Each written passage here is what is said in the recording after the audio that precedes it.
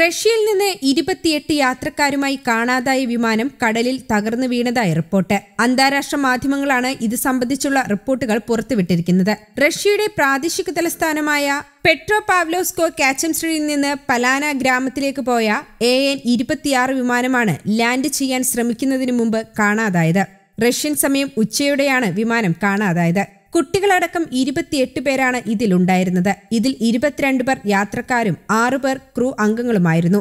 Pacific സമുദ്രത്തിൽ വിമാനം തകർന്നു വീണതായി തിരച്ചിലിൽ കണ്ടെത്തിയതായാണ് റിപ്പോർട്ട്. പ്രദേശത്തെ രണ്ട് ഹെലികോപ്റ്ററുകൾ ഉപയോഗിച്ച് വിമാന അവശിഷ്ടങ്ങൾ കണ്ടെത്തിക്കൊണ്ടിരിക്കുകയാണ്. പ്രദേശത്തേക്ക് തിരച്ചിലിനായി നിരവധി കപ്പലുകളും തിരിച്ചു കഴിഞ്ഞു. പ്രദേശത്തെ കാലാവസ്ഥ മൂടിക്കെട്ടിയ അവസ്ഥയിലായിരുന്നുവെന്ന് കാലാവസ്ഥാ വകുപ്പിനെ ഉദ്ധരിച്ച് റിപ്പോർട്ടുകളും പുറത്തു വന്നിട്ടുണ്ട് സംഭവത്തിൽ അന്വേഷണം ആരംഭിച്ചു കഴിഞ്ഞു. നേരത്തെ വിമാനം കാണാതായതെന്ന റിപ്പോർട്ട് പുറത്തു വന്നിരുന്നു. ഇതിന് പിന്നാലെ ഹെലികോപ്റ്ററുകൾ അടക്കം ഉപയോഗിച്ച് തിരച്ചിലുകളും നടത്തിയിരുന്നു. വിമാനം കടലിൽ പതിച്ചിരിക്കാനുള്ള സാധ്യതയുണ്ടെന്നും നേരത്തെ സൂചനയുണ്ടായിരുന്നു.